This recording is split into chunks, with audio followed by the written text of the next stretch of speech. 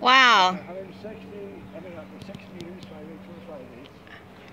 And then it will work like this all the way to 17 meters.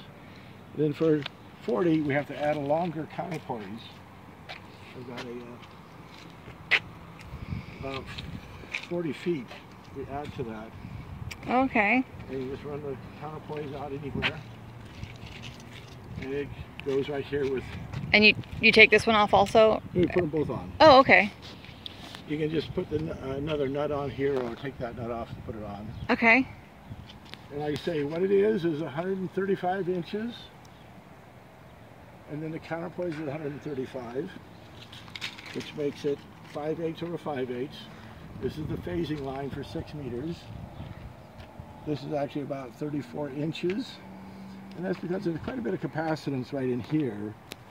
And that's for this is fairly only 35 inches. If this capacitance was a lot less, this might be 50 inches long to get it to come in. You can measure right here between the 5 eighths over 5 eighths, and you should end up with a 50 ohms, um, you know, on 6 meters. And then for all the other bands, yes, there are is going to be, you know, 3 to 1, 4 to 1, but that's nothing. The efficiency of the antenna is still going to be very, very good.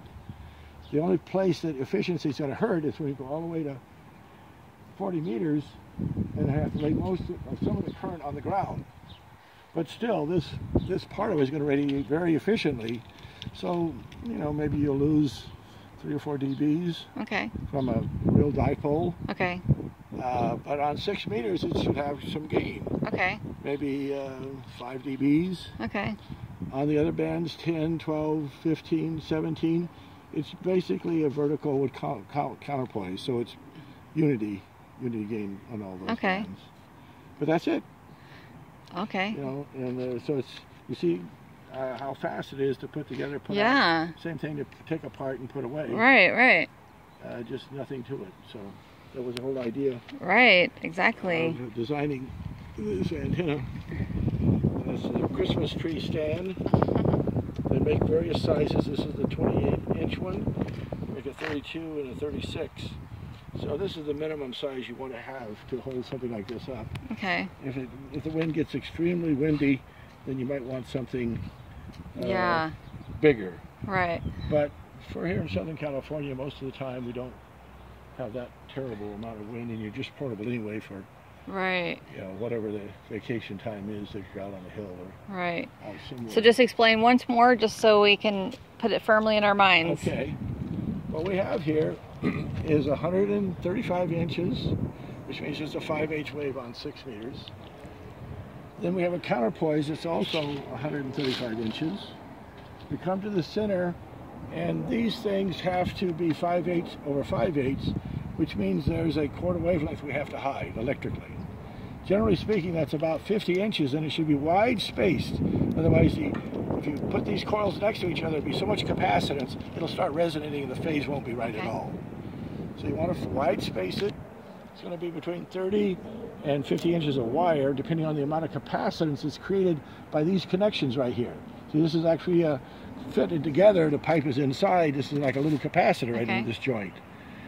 And this has so much capacitance, in fact, because this is actually from the um, AR6. The Cushcraft AR6 is what I took this out of. Okay. So it ended up being about 34 inches of actual wire. And the original AR6 capacitor coax has been unscrewed and thrown away. We don't Okay. want, want to minimize the capacitance that All we've right. got just so we get some inductance here. Right. And so that creates a 5 8 over 5 8 On other bands, it just sees this as an inductor and a long whip. Okay. So to get that closer to 50 ohms, we add counterpoises on here Mhm. for whatever band we want to slow it down to. Okay.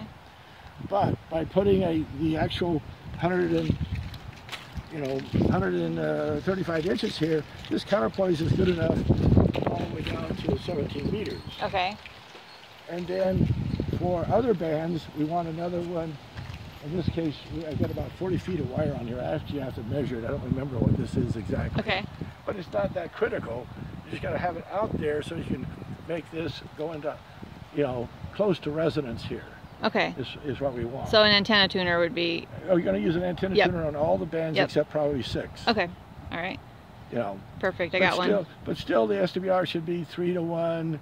You know, Okay. go up to four, down to two on all the other bands. Can you do 200 watts on this antenna or just 100? You can run a kilowatt on it. Oh, wow. Okay. Yeah, there's nothing here that can't stand the current or the voltage Okay. for a full All right. legal limit. Okay. Uh, and uh, and the reason we don't put a lot of counterpoises out is we just want to get the efficiency up. We're not worried about getting a perfect match. Okay. You know, because here again it's portable. You know, Yeah. Bring it on in with a matchbox. Yeah. Doesn't help the efficiency. Yeah. And then generally speaking, I would splay these out away from the coax. They say the coax run is that way. I would display these out away from the coax run, Mm-hmm. Okay. away from each other, Okay. Right. and that's it. You mean take it apart so they can Okay, see how, yeah. how it went together. So it just sticks on this PVC. The PVC itself has some dowel wood in it to stiffen it, and then the Christmas tree stand. These are hard to come by except around Christmas time. hmm Yeah. You can find them quite uh, quite easily. Almost, you know, Home Depot, Lowe's, all these big dealers do carry them in Christmas Mm-hmm. time season. And you just put it in there, put it in here, and boom, your antenna's out. Wow. That's awesome. Thank you so and much. you know, around here in Southern California, we don't have like trees out, out in the desert and up in the mountains that much that we Mm-hmm. can really utilize. Right. So to have something that you'd be in a park and have, you know, nobody can complain about you pulling this out and Yeah. setting it up. Yeah. my point. Yeah. Because you're not really attaching to anything. Yeah. But yet, uh, the efficiency should be good, and you should be able to work at DX much better than, say, one of these current loops. Mm-hmm. You know, the current loops work, but they really aren't very good at putting energy where you want it. Okay. On the horizon, this would be much, much better. All right. Uh, so, any questions? I think that's it. How far do you want to be away from these? Uh, you know, here again, if you're running 100 watts, a few feet is fine. If kilowatt, maybe 10 or 20 feet away. Okay. You know, it's not it's not terribly critical. All right. Uh, you know, on, on the HF bands, it has very little heat effect on the human body or anything. Okay. Uh, so, All right. Thank you so much, Will. That's awesome. That's so cool. alrighty. That is awesome. Okay. That's cool. And that's Will's creation. That's right. AA6DD. What we going to call it? The, the YYL antenna? YYL portable? That's pretty cool. All right. Thank you so much, Will. Okay.